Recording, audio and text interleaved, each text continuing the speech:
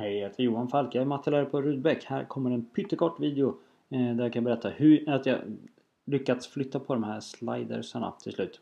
Eh, man gör så här att man högerklickar och så eh, avmarkerar man det här låsobjekt. Och sen är det bara att klicka och flytta på de här. Kan man sätta dem på något fint ställe. Kanske typ så. Nej, jag vet inte. Inte riktigt kanske. Nu ska, ska vi se om jag sätter den på noll kan man tycka att det vore schysst att sätta den här på eh, x-axeln på det här viset. Så kanske det är tydligare om man flyttar sin punkt på det här viset. Ha y-koordinaten där och x-koordinaten där. Det blir inte kanske helt superbra, men det funkar. Eh, så vet du det. Eh, det finns en till lite bisarr effekt man kan testa.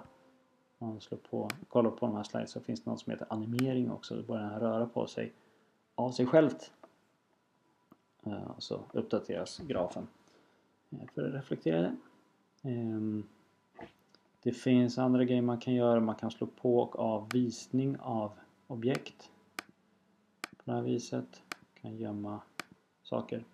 Eh, det kan vara ganska fiffigt om man har gjort sig en ett antal grafer som man vill visa liksom, men man vill ha dem med olika kombinationer. Då behöver man inte radera dem utan bara gömma dem.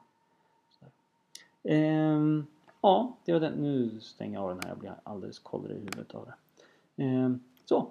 Ehm, ha det bra. Vi ses i en annan video. Hejdå!